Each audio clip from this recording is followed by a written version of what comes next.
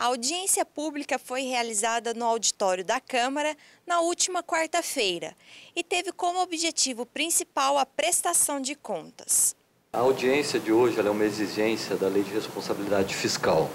A cada quadrimestre, o poder público ele tem que demonstrar os números né, é, das finanças do município, quanto que ele arrecadou, é, em que ele gastou, né, enfim é, como que anda os números né, da, da, da arrecadação e do gasto, né? basicamente é isso.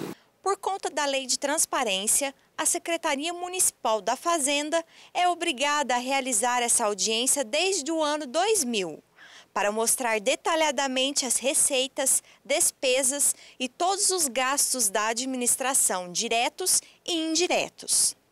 De acordo com a Secretaria da Fazenda, o município arrecadou nos últimos quatro meses de 2013 293 milhões, que foram investidos em diferentes setores. Principalmente na saúde, acima do, do, do mínimo obrigatório, o município tem gasto cerca de 10%. A vereadora Celi Regina, que estava presente, falou da importância das audiências públicas, principalmente quando o assunto é o dinheiro público. Nós estamos aqui para fiscalizar o executivo. Esse é um dos principais papéis do vereador. Então é importante que a gente acompanhe para saber se o executivo está cumprindo a lei de responsabilidade fiscal, a lei da transparência né, e acesso às informações, que é uma lei mais recente, mas que nós estamos cobrando que seja cumprido na integralidade da lei,